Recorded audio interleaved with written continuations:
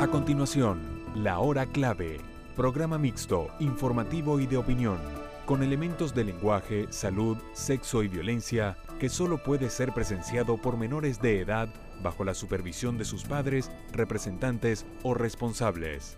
Programa de producción nacional.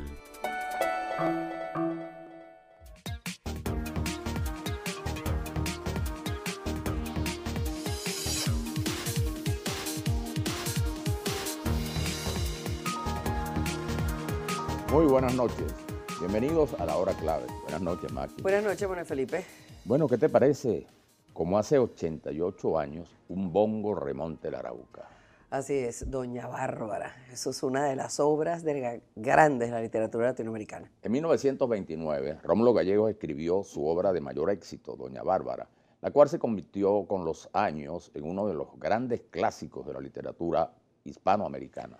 Doña Bárbara narra la historia de una rica terrateniente que acumuló grandes tierras y extensas manadas de ganado, usando a los hombres para su provecho personal y sobornando a los funcionarios locales.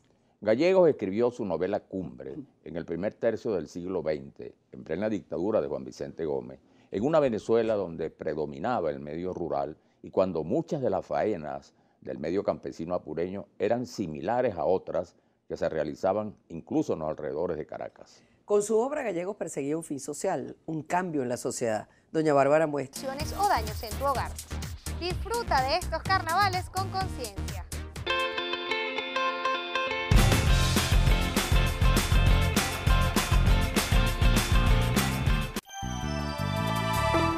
Seguimos con La Hora Clave.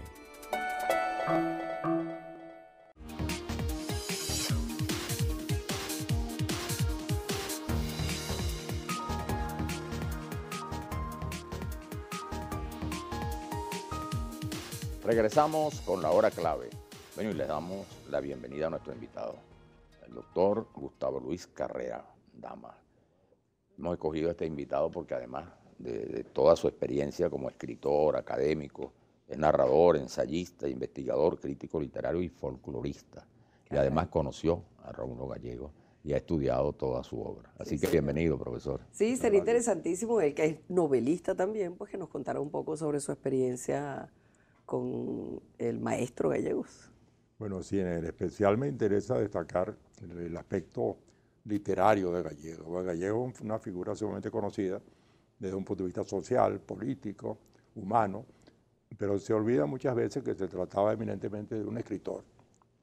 Y en ese sentido me interesa también proyectar un poco alguna información sobre hechos significativos que no son muy conocidos algunos de ellos se refiere a experiencias que yo tuve con el propio hecho de la significación de la novela Doña Bárbara y que no, he, revelado nunca. Los he escrito para no olvidarlo, pero nunca lo he revelado y los voy a referir brevemente, pero por la significación especial que tiene. Cuando se conmemoró la, la fecha de los 50 años de Doña Bárbara, en 1979, en París, en el Instituto de América Latina, se hizo un acto especial en honor a la novela Doña Bárbara. En ese acto le tocó hablar a un escritor que en ese momento era muy destacado en América y que posteriormente iba a ser realmente notable, que era Alejo Carpentier. Y Alejo Carpentier, al hablar de Doña Bárbara, dijo lo siguiente, que yo tomé cuidado de, de tomar nota. ¿no? Dijo, para nosotros, los escritores jóvenes de aquella época, Doña Bárbara significó que sí podía haber una novela latinoamericana. Aquello me impresionó tanto que después de la conferencia hablé con él ya personalmente y me ratificó la idea y me dijo, sí, hasta ese extremo. Cuando aparece Doña Bárbara, todos dijimos, sí se puede, sí es posible que haya una novela nuestra, porque no había habido ninguna anterior. Esto me pareció muy notable por venir de un escritor como Carpentier. De los grandes escritores. Uno de los grandes escritores. Y luego tuve la experiencia, eh, en el mismo año 79, fui invitado por la Universidad de Toulouse, de Tolosa, a dar una conferencia sobre gallego con motivo de los 50 años de Doña Bárbara. Y entre los profesores de la Universidad de Tolosa estaba un destacado escritor paraguayo, Augusto Roa Bastos, que dijo allí y después lo conversó conmigo, dijo una frase parecida a la Carpentier, dijo, Doña Bárbara inició la verdadera novela latinoamericana. Y para nosotros, los jóvenes, el ícono de esa iniciación fue Doña Bárbara. Bueno, imagínense, se Mira, trataba aquí de tenemos a José tan Moro porque nuestros, nuestros amigos tuiteros nos escriben. Ah. Hechos reales inspiraron a Don Gallegos, Francisca Vázquez, dueña del ato Mata de Totumo Melero. Bueno, eso forma parte de una información que se maneja. Gallego no lo reveló nunca de una forma directa. Pero en efecto, Gallego se basó siempre en experiencias reales. Él escribió al estilo de los viejos maestros del realismo, es decir, tomaba apuntes sobre los ambientes, los personajes, los hechos. Y hay una célebre foto por allí donde aparece Gallego en los llanos, en, la- Sí, en la- cómo no. en la- en esa fecha, tomando notas. En esas notas eh, aparecían los personajes y siempre hubo la idea de que Doña Bárbara fue inspirado en un personaje de la vida real. Gallego no reveló nunca exactamente quién era y ha habido especulaciones al respecto. Pero el hecho cierto es que Doña Bárbara se convierte en un personaje que yo quisiera destacar este hecho, absorbente. Hay un, hay un hecho cierto. Gallego se le conceptúa como un novelista que pone en juego la contraposición entre civilización y barbarie. Sí. Y ocurre que en la novela Doña Bárbara, el personaje que representa la barbarie, que es Doña Bárbara, es el gran personaje, el personaje principal de la novela. Entonces, ¿qué pasó allí? ¿Cómo se le fue de las manos a Gallego su mensaje? Allí, para mí, ocurre el hecho cierto de que el escritor prevalece respetando al personaje que lo obliga, por su atracción, su seducción, lo obliga a darle una cabida extraordinaria en la obra, inclusive fuera de lo que pudo haber sido su intención inicial. Claro. Ahora fíjese usted que lo que usted estaba diciendo anteriormente, que él se la pasaba tomando notas y, bueno, conviviendo con esa realidad. Freddy Parada dice, la mejor historia no es la que se escribe, es la que se vive. Bueno, Gallegos vivía eso y después lo plasmaba. Es un hecho cierto y por eso Gallego logra también lo que se ha denominado la creación de arquetipos. Gallego no crea solamente tipos literarios, sino arquetipos. Esto es muy importante y voy a señalarlo rápidamente porque no quiero dejar pasar la significación de, de este hecho. Doña Bárbara pasó a ser un arquetipo, el arquetipo de la mujer luchadora, guerrera, que no se somete al capricho del hombre, que lucha en contra y termina por imponerse. Esta realidad ha determinado que sea un personaje arquetípico. En Venezuela, por lo menos, y en otros países de América, pero en Venezuela en especial, nosotros decimos a una mujer, esa es una doña bárbara. Sí. Y no hace falta explicar más nada. Bueno, y fíjese el Bueno, impacto. y en México ni se diga. Ajá, Claro. como- El Es una impacto doña, tan grande, el impacto tan grande que ha tenido, que es que ha sido llevada en, eh, cantidad de versiones al- a la pantalla grande del cine. Eh, también en televisión se han hecho series y, y de todo, novelas, y- con o sin el nombre de Doña Bárbara, pero inspiradas en ese tipo de personaje. Sí, por eso esa condición arquetípica del personaje se va a revelar en una forma también contundente, no quiero dejar de decirlo, con la novela de Gallego Cantaclaro. Cantaclaro pasó a ser el arquetipo del, co- del- del- del coplero errante, que es un hecho cierto, que yo llegué a comprobar en Venezuela los años que estuve trabajando sobre folclore literario y viajé por todo el país. Conocí varios cantaclaros, que son cantores populares errantes que van trabajando en distintas partes, que es el típico personaje. Y esto llevó a un hecho que mucha gente quizás no sabe o no recuerda, que un novelista muy destacado peruano, Ciro Alegría, Claro. dijo que Canta Claro era el gran personaje creado en la novela latinoamericana. Inclusive él lo ponía por encima de Doña Bárbara, porque él decía que Canta Claro era la personificación realmente original. Yo creo que también pesaba Así allí el ocurre hecho, también con Canaima, ¿no? Que también ya en Canaima, ¿no? pero como personaje mismo, Canta Claro es otra, otro arquetipo, que es el cantor popular. Sí. Fíjense que ha prevalecido el hecho de que todavía en la actualidad hay festivales de canto, de música llanera, se llama el, flo- el, el- el- el Canta Claro Claro. y el Florentino. ¿Por qué Florentino? Porque Canta Claro se llamaba Florentino Coronado, que, que es un personaje, por cierto, del folclore venezolano. Aquí volvemos a la idea de que Gallego sí tomaba elementos de una realidad evidentemente compre- comprobable, comprobable. Aníbal Gómez nos escribe, Canaima me parece que recoge la idiosincrasia del venezolano y una respuesta a lo que estamos viviendo hoy en día. Bueno, en, de hecho, Gallego tuvo siempre una inspiración social, toda su novelística. Este es un hecho muy real. Nunca eh, se limita al hecho en sí, sino que lo proyecta socialmente y hasta políticamente. Pero esto no le impide ser siempre un escritor. Eso es lo que me parece muy importante destacar. Que no se convierte en un propagandista ideológico. Además, un escritor muy riguroso, ¿no?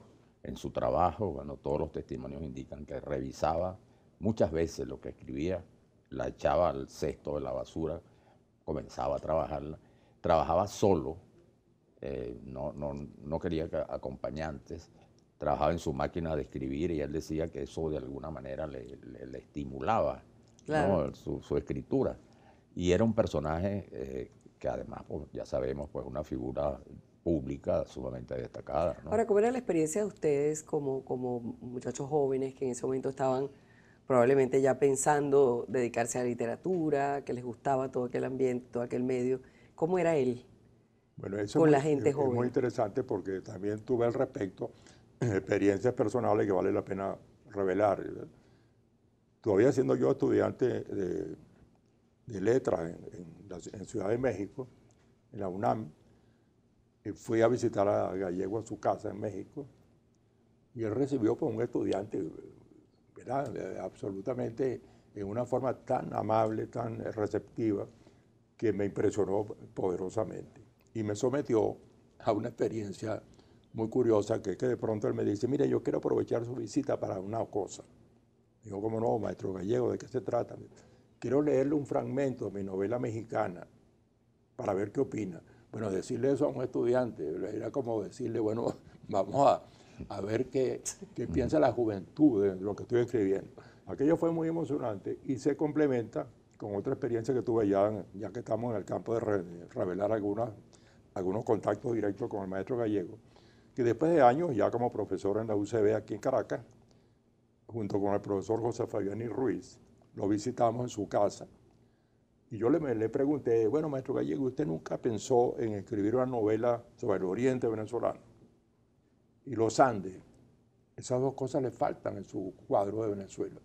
Y él me dijo, pues si viera que sí, no, solamente lo pensé, sino que comencé las dos novelas.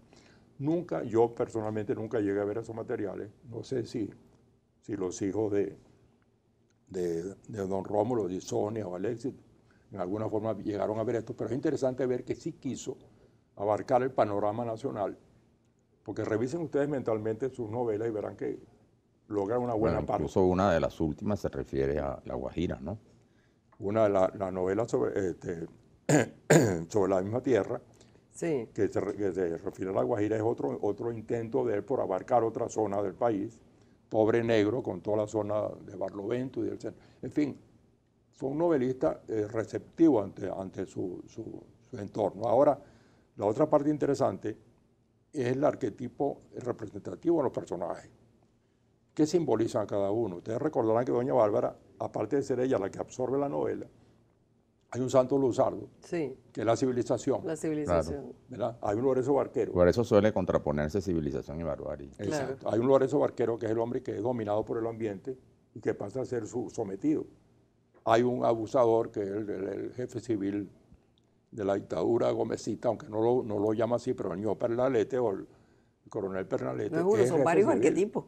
Otro arquetipo. Es todo lo que uno se puede encontrar en una sociedad. Y el mujiquita, que es muy importante porque es el bachiller mujiquita, que es el que está sometido a los caprichos del mandón y que le hace el servicio.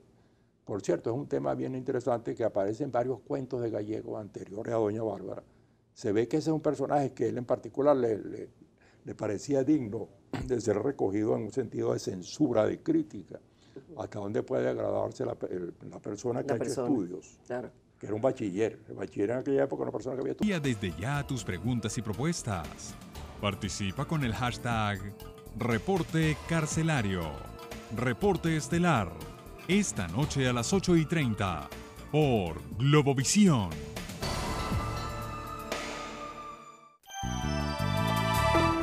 Seguimos con La Hora Clave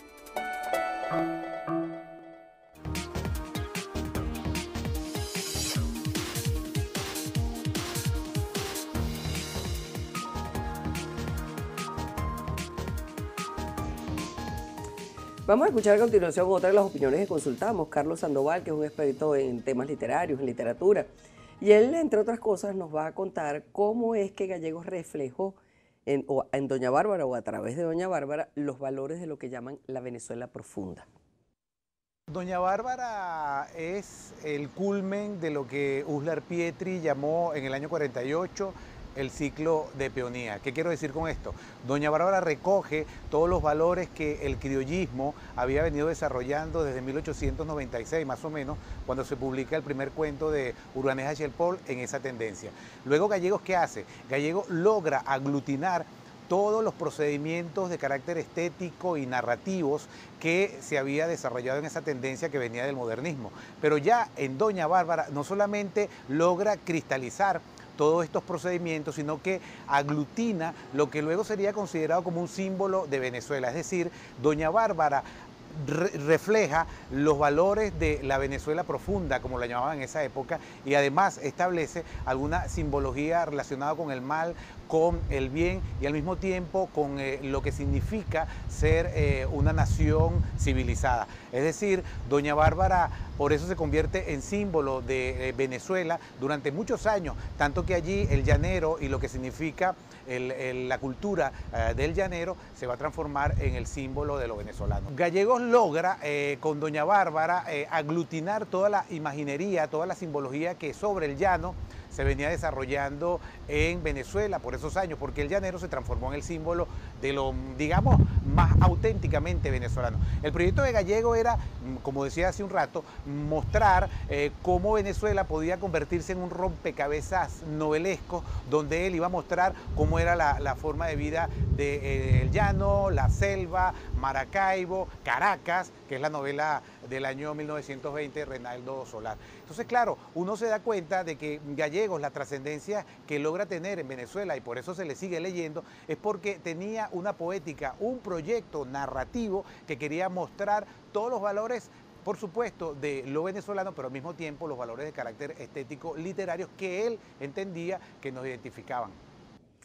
Bueno, fíjense ustedes, y no es para menos, cómo ha motivado a nuestra gente, a nuestros televidentes, a quienes nos siguen, esta, esta temática. Fíjense ustedes, C. Siempre tan ilustrativo programa, despierta el amor por Venezuela a pesar de todo. Alejandro Rodríguez, siempre he pensado que Santos Luzardo es el propio Rómulo Gallegos Miro YouTube, Doña Bárbara con Carlos Márquez y Marina Baura. Claro, quien olvide esa interpretación. José Duravio Moros, eh, Don Gallegos le rechazó a Rafael Vega escribió una novela sobre Falques, Memorias de Rafael Vega. Marinés Hernández, ¿en qué se basó Rómulo Gallegos para escribir Doña Bárbara? Bueno, eh, eh, José Duravio Moros, Don Gallegos en 1925 pasó seis meses en el Ato La Candelaria de Juan Vicente Gómez y conoció bien la historia de Francisca. Y Yubiris Carrillo, RCTV, hizo la novela Doña Barba con Marina Baura y Elio Rubens, mucho mejor que la película mexicana. Bueno, hay opiniones, ¿verdad? Opiniones. Y nuestras versiones de Doña Bárbara han sido estupendas. El hecho cierto es que es la gran novela venezolana de todos los tiempos y que además trascendió al país y tuvo eh, en América Latina, tal como lo refería el profesor Carrera, opiniones de escritores tan importantes como Carpentier y Roa Bastos, ¿no? Pero hay otra que coincide con lo que decía el profesor, y era una opinión que yo fui testigo de Carlos Fuentes, el gran novelista eh, mexicano. Conversando sobre este tema, él decía que había que, considerar a Gallegos no solo como un novelista, decía, porque todos los novelistas creamos personajes, pero él creó arquetipos. En consecuencia, era un escritor arquetipal. Y su repercusión inicial de Doña Bárbara, por supuesto, fue en México, donde él estuvo muy vinculado cuando se lanza la famosa película, ¿no? Doña Bárbara, eh, que bueno, se convirtió en todo un éxito y lanza a, la fama eh, a María Félix. Claro, eso fue María Félix la gran protagonista. Claro, decía, em, eh, esto lo decía Gallegos, que él conoció a María Félix en una cena en México con unos amigos, y entonces le, le pareció que tenía una voz ronca y fuerte, decía, la voz que yo concebí para Doña Bárbara en la novela. Y yo, decía él, fui quien la comprometió para que protagonizara. Es decir, que, además de la novela, bueno, él es de alguna manera el que impulsa eso que fue eh, María Félix, la doña, que de alguna manera es un mito, ¿no? En México también, en buen sentido de la palabra.